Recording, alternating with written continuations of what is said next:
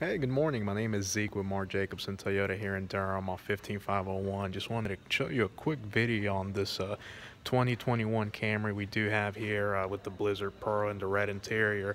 Now this one doesn't have the black top.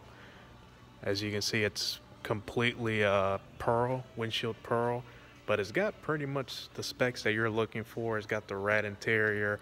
Now it doesn't have the navigation package, but all of these come with uh, Apple CarPlay and Android Auto, so uh, you definitely get that system on here. So just kind of wanted to give you a good look around the car. I mean, it looks really nice still. Um, it does have the panoramic uh, roof on top, which most of the XSEs do have.